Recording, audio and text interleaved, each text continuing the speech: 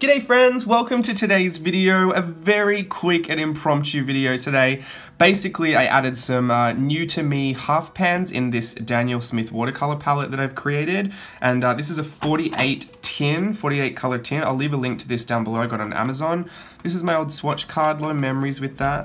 I've added in a full extra row, so uh, you know, these three rows has to become four, and being ultra like I am, I've printed up a new one, uh, so it's all nice and neat. And I'm going to swatch everything out today, give you a bit of a chat as to uh, what my favorite colors might be and why I like, like certain things and, you know, etc etc I guess if uh, if you're wondering how I came into possession of such lovely watercolors I have only ever bought this row right here up until the Aussie Red Gold um, everything else was gifted to me. So a big thank you again to uh, the lovely people that were so generous enough to share their Daniel Smith watercolors with me. I know these can be expensive. The only ones I ever bought in a tube were Kyanite Genuine, Payne's Blue Grey, and Moonglow, um, because these are my, you know, these are my full-on faves. I, I would love to buy everything in a tube, let's be real, but I do love to use them from the half pans and just re-wet them. This, you know, you need a palette for it. Become a, it's a little more cumbersome, a process to use them from the tube, but I do like to refill with these if I know I love the color. So my Moonglow is almost gone. Um, maybe might have to buy another one of those, I don't know. I love that it's called Clair de Lune in French. So pretty. Um, but these are, you know, artist grade watercolor paints. They are absolutely stunning and I have been gifted a lot of these.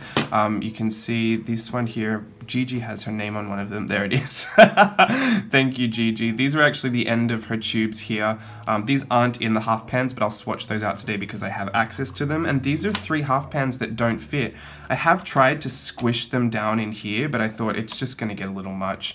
Um, I, I might just put these in another palette that I have off to the side because I do have a lot of um, designs by Rachel Beth palettes as well, but um, I might just end up putting some of these into one of these little palettes because I like to keep these color stories together. They're so perfect the way they are, so just leave those over there. I'm going to swatch through them all. There is a wealth of information on the internet about watercolors. I couldn't possibly begin to tell you the half of it, so I'm going to let you go figure that out if you want to go and have a sleuth around the internet. The one thing I will say really helped me with choosing colors or um, or knowing what I might like in the future if I was ever going to buy a, a larger set or buy half pans um, is this Daniel Smith swatch card. I've actually kept using these. I even used one of these through Mermaid in my uh, journal.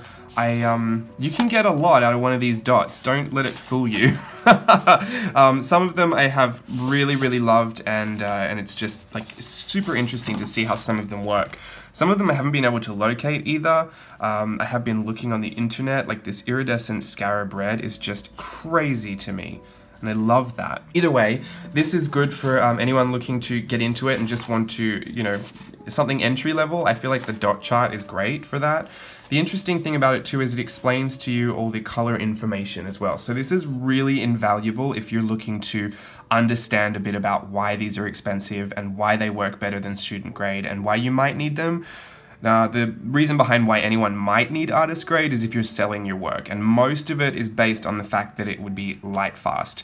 Um, light fastness basically means how long your uh, your the pigment in your paint will hold up to exposure to light. So it's basically saying whether it's archival or not. You know, how long is this painting going to last being displayed in an area where there's natural light being exposed to it? Because if you've ever driven past an old McDonald's, you'll know that the playground set looks pretty faded.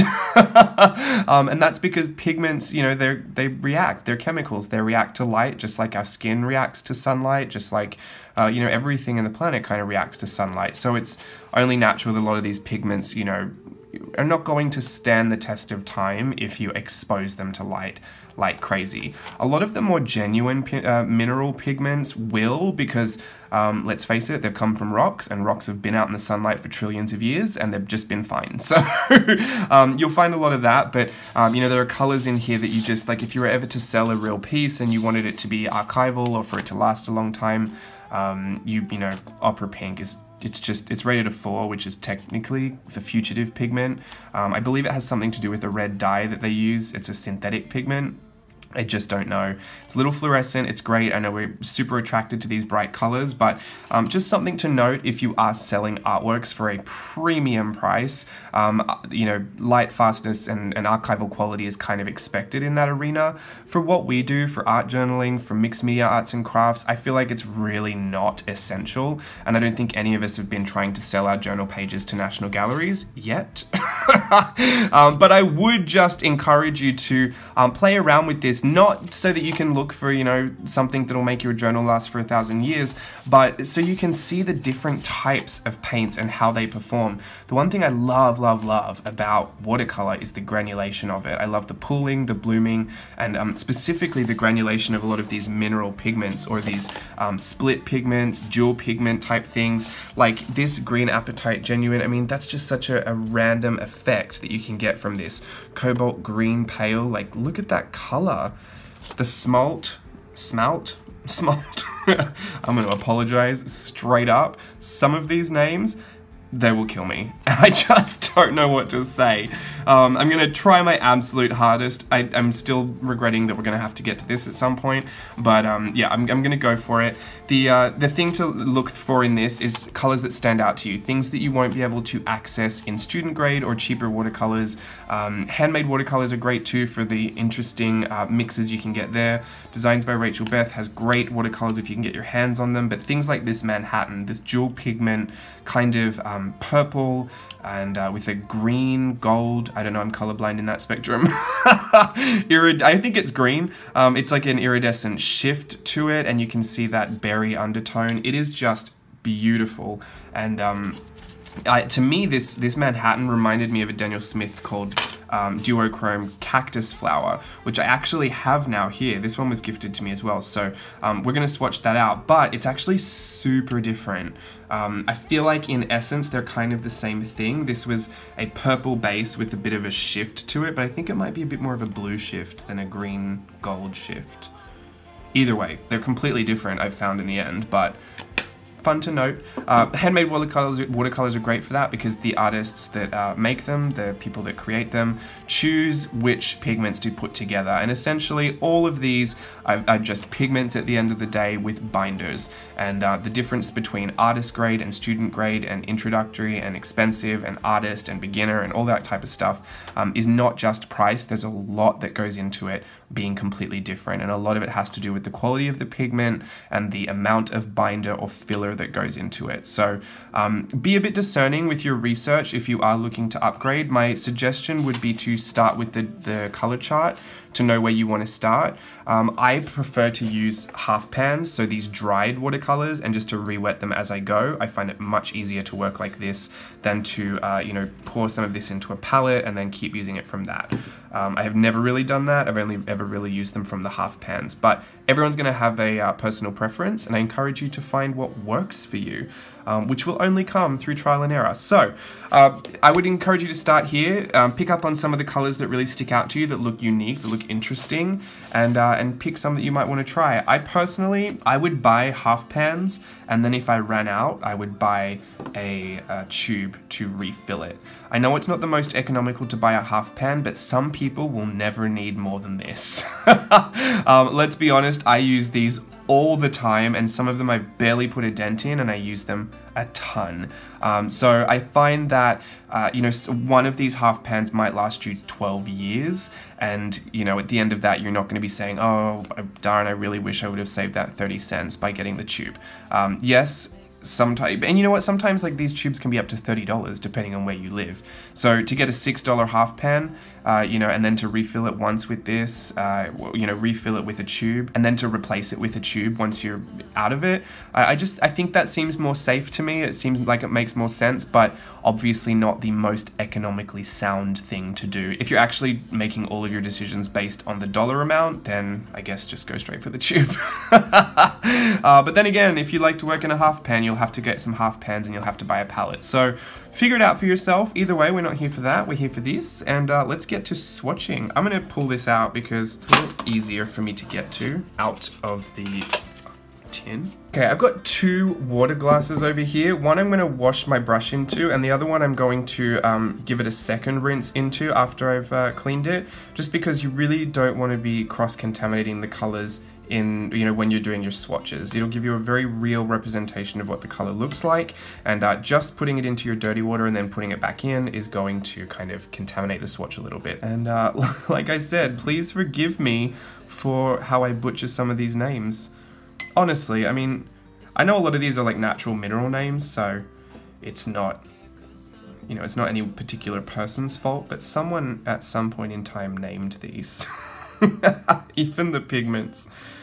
So this is Kyanite Genuine. I love this because you can see the minerals in it and it's such a beautiful shade of blue. To get an orange pencil and Kyanite Genuine um, is, is heaven. So it's a little hard to re-wet, not gonna lie. When I do my swatches, I do like to put a lot of the pigment down and I, I like to um, also add some water back into it because I like to do a lot of those effects um, of pooling and blooming and I love all the granulation so I, I, want to kind of simulate that in my swatch so that I know what I'm going to get out of it when I actually come to use it. I don't really want to flat wash because that's not how I'm going to use it.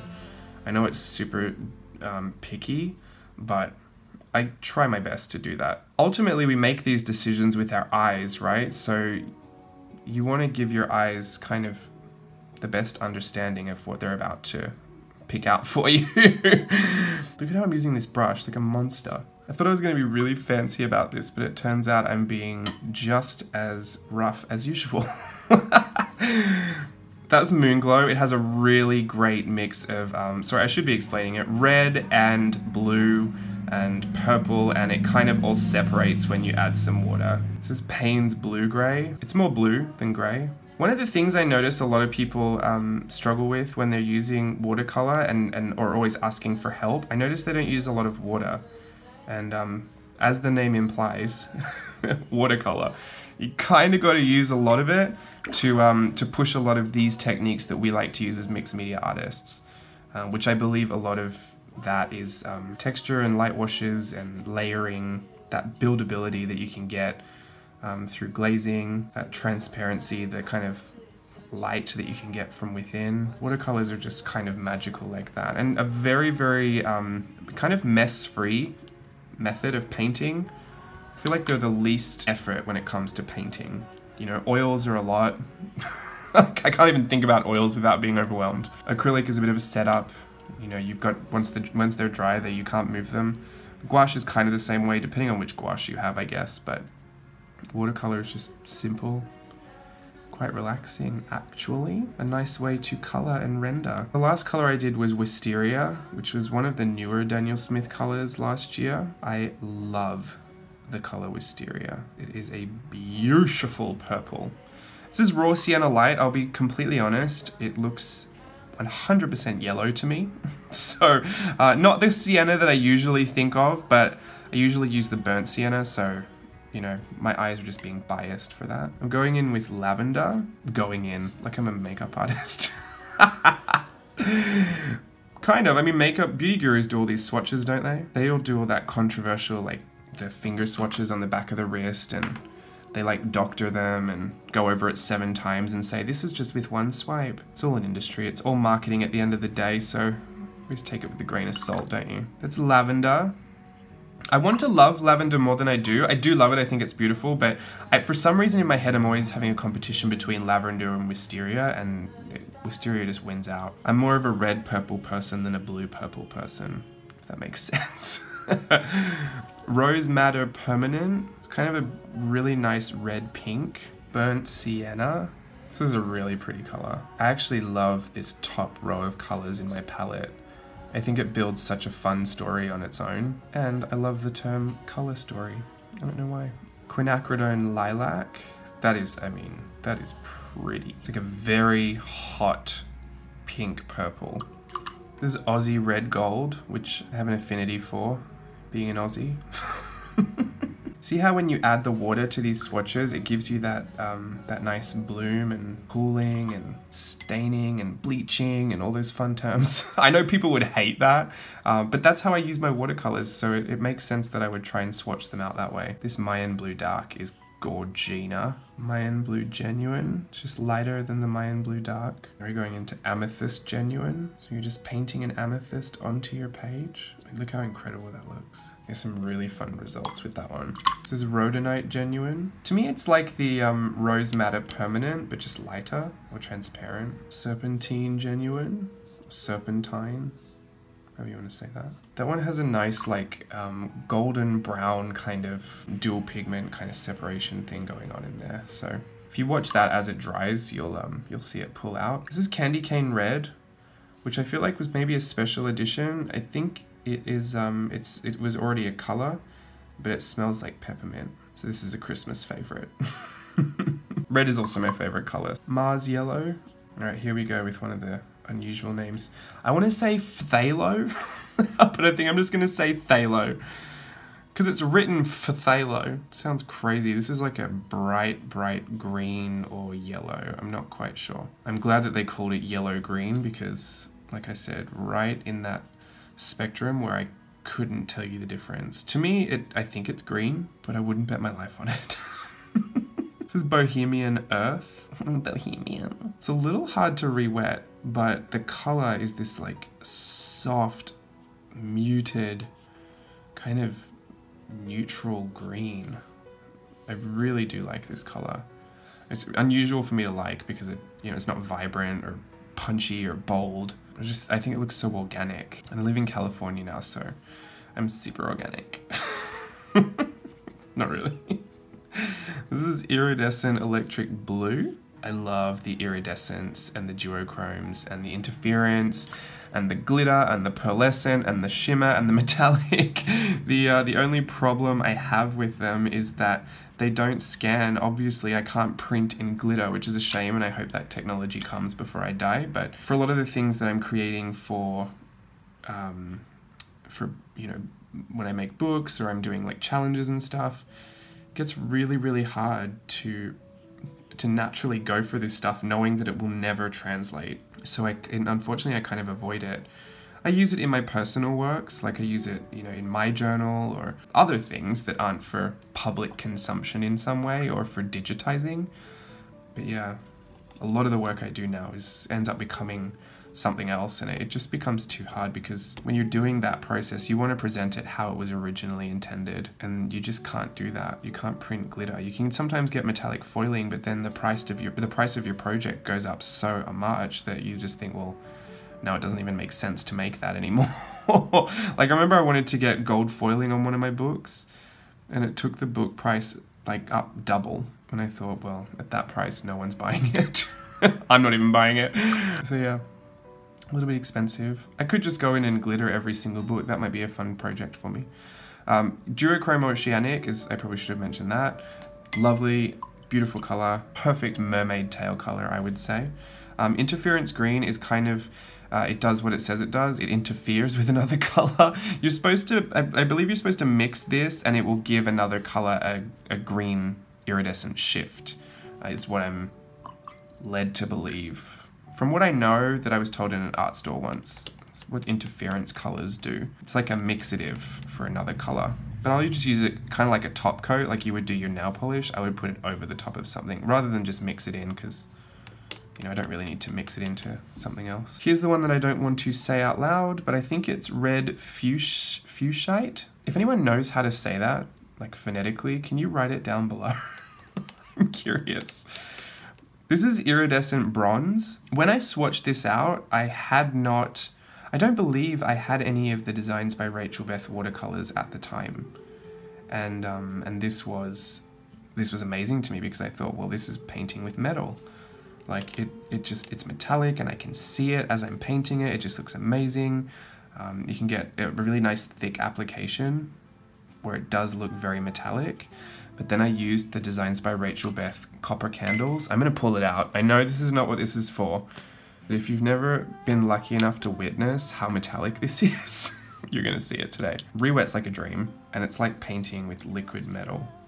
I'm gonna put it right next to the bronze here. All right, when that dries, you'll see the difference. Or even better, like how different they aren't. As far, because I think a lot of people don't trust handmade watercolors, um, but you know, I'm here to vouch for these ones because they're just incredible. And Copper Candles is just, it's just perfect to add on top of something like a fun little pop of metallic. It's great. All right, let's leave that. Uh, that can dry over there and we'll come back to it. Pearlescent Shimmer. This, like the um, like I used the interference green, I use this as like a topper because it's actually just painting with kind of I, I don't even want to say glitter, it's more like shimmer, like the name says. Glitter to me is very different. That's actually like little mylar particles and I should be able to see it kind of sparkle. This is undersea green. I think I've painted a cat hair in there. Why doesn't that surprise me? Never in my life thought I would become that crazy cat lady, but I am. This is Duochrome Autumn Mystery, which I think is a fabulous name for a color. like, uh, what was the thought process behind that? Someone just looked at this and thought, oh, that's just an autumn mystery. This one is Duochrome Cactus Flower.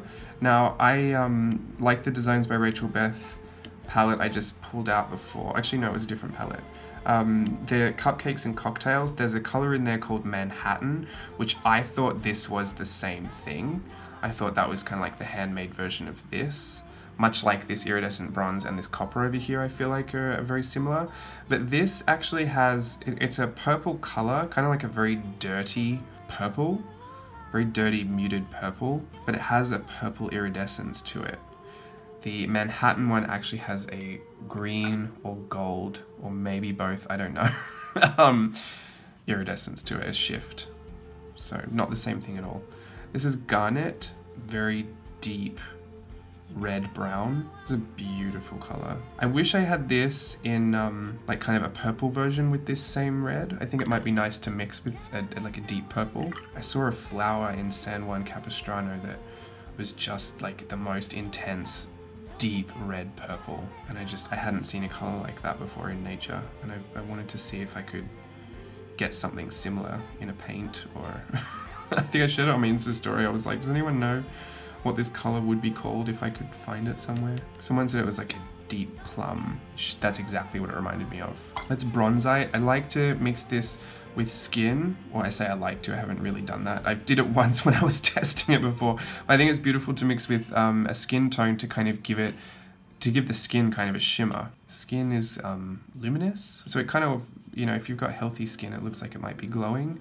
It's kind of hard to paint glow, but shimmer kind of acts the same way. So putting a little bit of a shimmer into your skin tones, just give them a bit more life. That's Apatite Blue. That's a really, really stunning blue. I'm going to put some of this water in there. Get that to move a little bit. And this is Apatite Green. It's also a really beautiful color. Do most of you use Daniel Smith watercolors or um, artist grade watercolors? If you do, how was the difference from moving uh, from you know a student grade to, or even a beginner um, quality? Like I know a lot of us use the um, the Artist Loft or that similar brand the, uh, the one you can get from Michael's for $3 and change. A lot of us use that to start out with, very, very chalky, just basically chalk. Um, but it gets fine, it gets the job done. We learn how to paint, we learn how to pick colors and how to mix. But once you move to this, do you kind of think, well, it's a shame uh, my thought process anyway was it's a shame that these are the more expensive and these are what people are most likely to upgrade to last because they're the easiest to use. They give you the best color, the best payoff, the best results. They're easy to re-wet, they're easy to work. Um, you know, if anything, we should be giving our beginners this quality of, of paint because it would encourage people to, to, to do it more because you, you find better success with these, I find. Um, I don't know if anyone's story is the opposite. They upgraded and found a difficult time, but uh, leave some of your transition stories down below because I think a lot of people sit on the fence when it comes to trying some of this stuff, and um, you know, I'm only one person that can tell you how much of a difference it makes. As with everything, you know, there's human skill behind it. You do have to put this stuff into practice. You might encourage someone today, which is a good thing. um, so, Amaz um, Amazonite? I want to say Amazonite, but it's clearly an A. Amazonite. Prime Amazonite. Beautiful teal color. Sodalite, which has great granulation, is a super interesting color um, that I can't quite determine. This is Purpurite, which is like a purple, um, a purple version of the Sodalite, I feel. This might be actually the nice, uh, a nice thing to try with that garnet. I'm so tempted to try it almost right now. Back to that word I don't like again, the uh, fuchsite, fuchsite. This looks like the base of the Duochrome Oceanic to me. They seem like the same color to me. The Duochrome just has the gold shift or green shift. I'm not quite sure what that one is. Either way, it's a nice little shift. Another one of these Phthalo turquoise. This is a really intense teal color. Ultramarine turquoise. Love that I just said it was a teal color, but it says turquoise. It's turquoise as RuPaul would say. And this is Sleeping Beauty Turquoise. This is from the Sleeping Beauty mines. That's why it's called Sleeping Beauty Turquoise. There's some rule about um, naming paints or something. Maybe it's an unwritten rule, maybe it's just like a thing that people respect or something, but some pigments come from a certain place or you have to respect the name of the pigment uh, when you're actually naming the paint. Like if it's only made of one certain type of pigment, you have to call it that or something, or Maybe if it's a mix, you're not allowed to call it that and something else. I'm not quite sure. There's some interesting rule that I remember hearing and obviously didn't commit to memory. but I know it's interesting, so I could try and find that out again. Let's be honest, I'm not going to. But I do know that that pigment that this one is made of is from the Sleeping Beauty mine. Just imagine that Aurora's in there chilling with her Daniel Smith watercolors. this is Sugi Light? Suji Light? Suri Cruise Light? I'm not quite sure. Shadow Violet. I like this one too. I don't even know why I bother saying uh, like saying I like this one. Like, have I ever gotten to any of them and said I don't like it? you should just assume that I do like all of them. Haven't met a Daniel Smith watercolor I don't like. How many people out there does it disturb that I do that? I'm gonna get some thumbs down for when I do that. just dip the water back in. Like I said, I mean, that's that's how I use it. That's what works for me. That's what makes me want to grab these things out and use that specific color or know that that's going to give me the result I want. If you only ate your apples cut up into, or if you only ate your sandwiches cut up into squares, you wouldn't go and prepare them for triangles, right? Just personal preference. This is phthalo blue, and this is in the green shade. I think there's also a phthalo blue in another shade. Or no, there's a phthalo green in a blue shade, which I'm honestly, that's just a little much for me. Quinacridone Coral, I love this color. Every time I use a coral, I think of Ali Brown. She's my uh, coral queen. This is Pyrrol Orange. I only have one orange in here. I mean, the Aussie Red Gold kind of looks like a yellow orange. As far as like a true orange, I think I want to try and get the permanent orange. That looks like one I could really enjoy because I, I, really do like orange as a color and the one I have is so intense that it's like you know you don't need that specific orange every time you use an orange. This is rose of ultramarine one of my all-time faves. Again it's more of that red purple and you see that rose color starts to separate as well. I love a good red purple. I don't know what it is. I like a blue purple as well but like just rose of ultramarine really does it. Or is this a blue purple because it's ultramarine not quite sure. Just making stuff up over here. I'm gonna get to the end of, end of the video and just say, please disregard everything I had said. None of this is based on true facts, like those um, like those medicine commercials in the States that get right to the end and tell you every reason you probably shouldn't be using the medicine. I think that's it's legal here. Like you you have to do that. It's illegal if you don't list all of those things. But some of them it's like, wow, I mean I only have a headache. I don't think it's I'm gonna risk dying for taking a Panadol. it's Cobalt Violet Deep. I tell you what, Cobalt Blue isn't one of my favorite colors. I don't know what it is. It just, I don't love it. This is Naphthamide Maroon, or as I like to think of it, Burgundy. I feel like burgundy is a word that came about and then disappeared. Like, I don't think anyone past the 90s ever said burgundy again, or early 2000s. I feel like there was a phase where everyone's um, bridesmaid dress, I remember, um, was burgundy in color. It was a very glamorous color, very elegant. and the last one, Zoisite? Zoisite? I want to say Zoisite. Sounds more French. You know I like to speak fake French. That is amazing. This is um, one of the most unexpected colors that I actually really, really love. This Zoisite, which probably makes sense since I said I really like the Bohemian Green Earth. It's a super earthy, but very rich um, green with a lot of granulation. I actually mix this into a lot of other colors when I want those colors to granulate more. because I can always count on this one separating. Um, so this is all of the colors. I want to let it dry a little bit and swatch out a few more, and we'll take a closer look at some of these. But you can see here already, I mean, the iridescent bronze as opposed to the copper.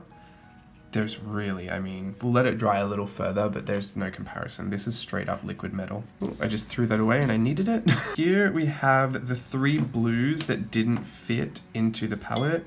I might regret that because I'm thinking I might like this color, Smalt. This is Azurite. Oh, I remember. This one is really hard to re-wet. This was uh, one of the newer colors that I've uh, been testing out that I was sent in Happy Mail. Thank you, Rhiannon, again. And Lapis Lazuli, which I feel like used to be regarded as a very expensive pigment that didn't only like certain nobility and royals have access to this, or like it was used to make blue garments, which were considered very, very luxurious. I'm not quite sure. I wasn't alive in the Elizabethan times.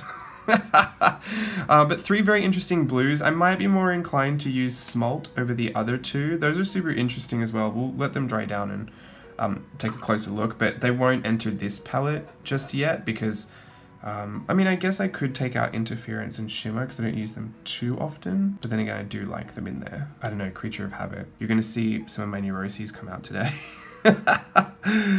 um, this is Undersea Green. We've tried this. Cascade Green. I do actually have these three greens um, just popped into the palette here as well, just because I don't want to grab the tube every single time I want to use it. But this is the uh, Cascade Green. It's a really pretty green. I swear I'm painting cat hairs into the paint.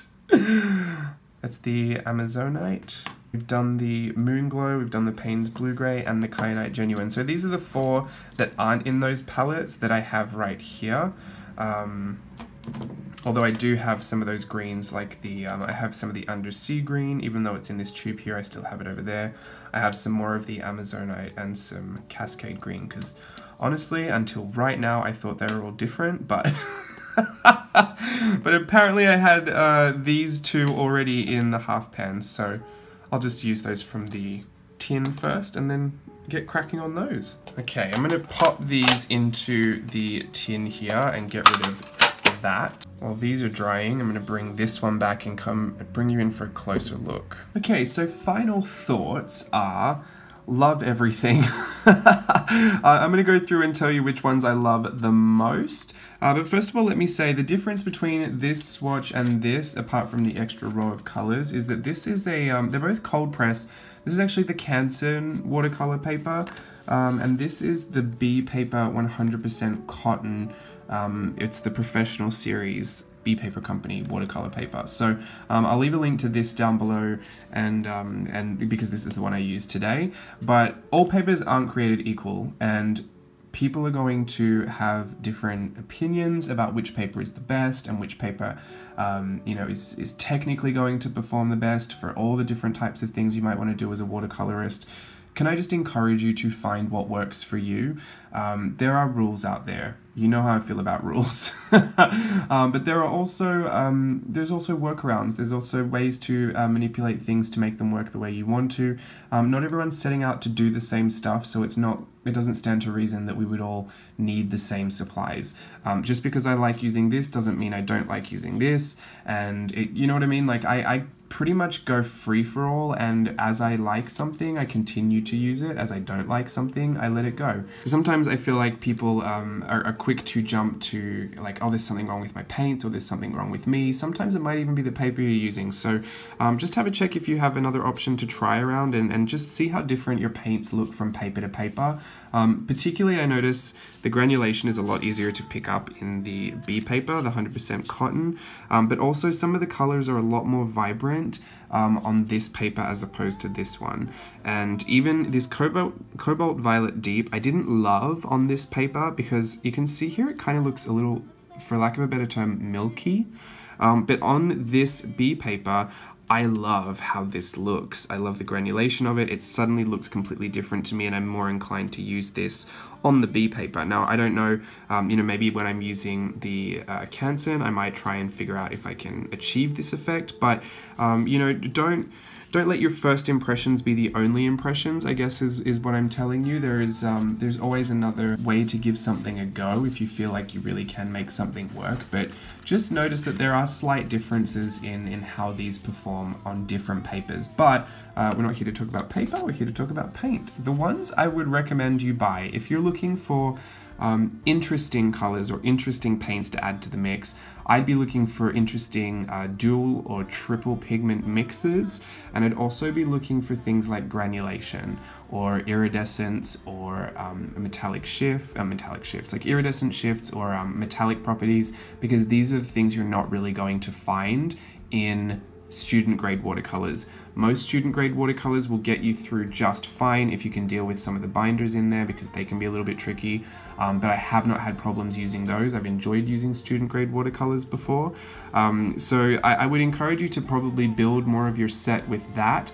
I have the Mungyo palette here, which I've actually taken out of the pan as well. But this is a full student grade set. It says it's artist grade. I still don't believe that, but uh, you know, I guess you could believe it if you want to believe it. These do not work like metallics at all. They're just kind of terrible. Um, there's been a lot of speculation. You can see in my review for the Mungyo, uh, the Ultimate Watercolor Palette review, um, that uh, a lot of companies use this as a manufacturer to private label watercolors for student grade watercolor palettes. I cannot confirm nor deny that. I honestly have no idea. I don't work for any of these companies.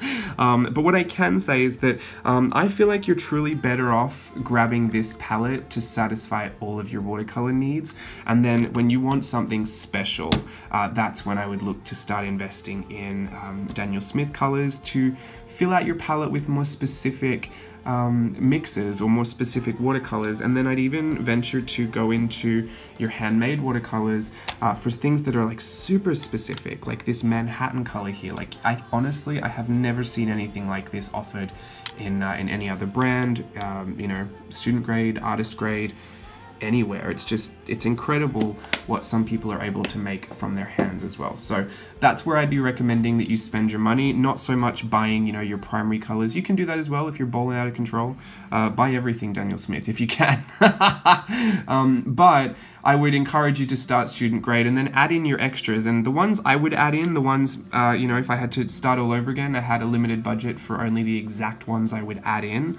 Um, the things I'd be more inclined to go with is, you know, first and foremost, let's just say copper candles, designs by Rachel Beth. Get that out of the way. uh, but Daniel Smith, we're going with um, my three OGs. I have to because it makes the perfect galaxy, even though I hate space. Um, Kyanite Genuine, just because you can see the mineral crushed in there, and it's like painting stars.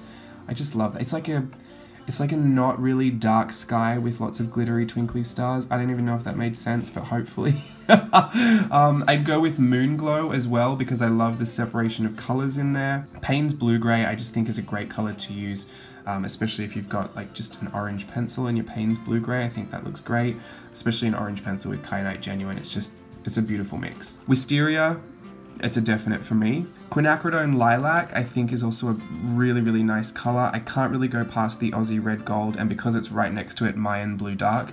This to me is like uh, an alternative primary palette they don't mix well together to like like Aussie Red Gold and Mayan Blue Dark aren't going to give you the best green. Um, but the, uh, the the three colors together like if you're just looking to go for some bold primaries but don't want to be typical this is um, this is really pretty for me. I love Amethyst Genuine but I don't think it's necessary. Candy Cane Red is a beautiful red but it's a bit of a novelty because it smells like peppermint.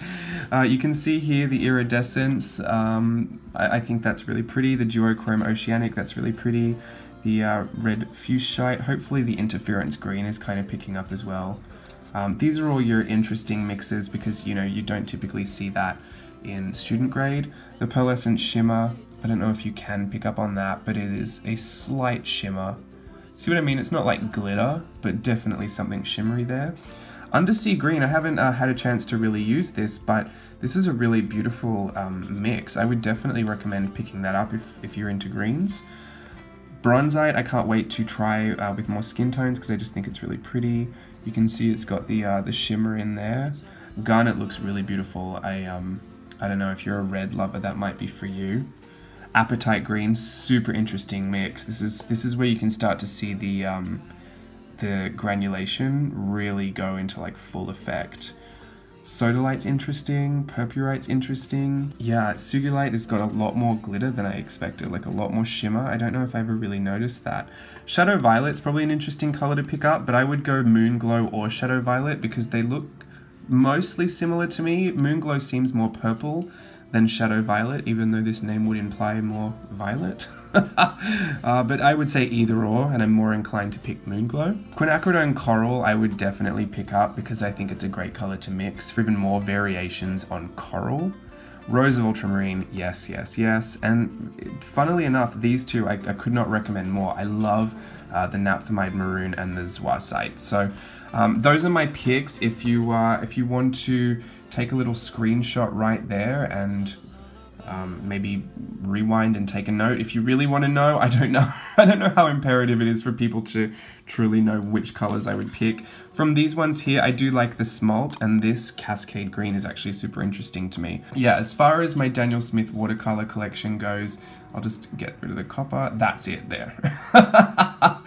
That's the, uh, the entire Daniel Smith watercolor collection that I love to play with and I uh, hope that helped you out. If you're one of those people that that asked and I never got back to you, I'm super sorry. Hopefully this is uh, coming at the right time and you have a bit of cash to buy your uh, your half pans now. I will leave a link to an Etsy seller that does sell half pans. Otherwise, your best bet is probably to go onto Amazon and I almost said Amazonite to go to Amazon and pick up a tube um, and, and fill your own half pans that way if you want to be super economical about it. Or um, maybe post even in some of your Facebook groups. And I won't mind if you post in the Burkemates Creative Outlet Facebook group and do a, um, a swap or a trade. Uh, I know a lot of people have invested in tubes. Uh, like myself, I have this Payne's Blue Grey that I uh, probably won't get through in a lifetime. So you might be able to find people willing to fill you up a half pan and send it to you if, if you guys live local, if you're in the same country. And that could be a great way to um, expand your collection and to have a look. You might have one, a color that someone else doesn't have. You could just do a bit of a, a trade or a swap. Um, because a lot of these colors, you know, the only ones I bought were these ones right here from Aussie Gold, from Aussie Red Gold to Kyanite Genuine. The rest were gifted to me, and um, I know there's a ton of people out there with extra that they would love to share with you and love to spread the joy of using something like a Daniel Smith watercolor. So I'm going to leave it at that. Hope you enjoyed the video, and until next time, thanks for watching. Bye.